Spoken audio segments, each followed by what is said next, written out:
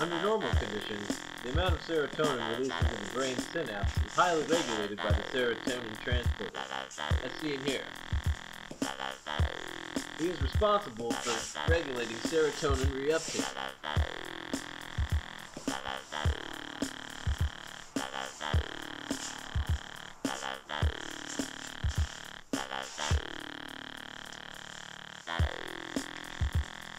Into the picture MDMA. MDMA, through its action on the serotonin transporter, allows for a release of serotonin into the synapse, as seen here. Woo!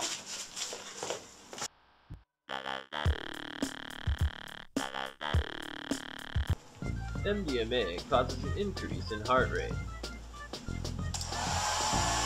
increase in body temperature,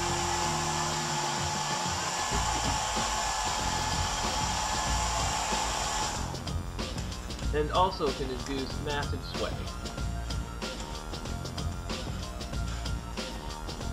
MDMA can cause loss of appetite, Next on HBO, My Big Fat Greek Wedding, followed by Twilight.